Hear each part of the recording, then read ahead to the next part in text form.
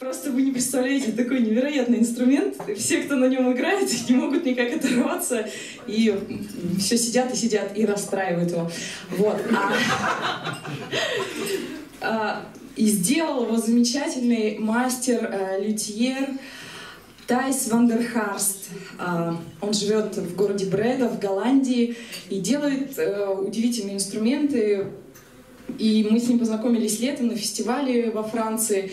Я была абсолютно поражена тем, как он делает инструменты в его воркшопе.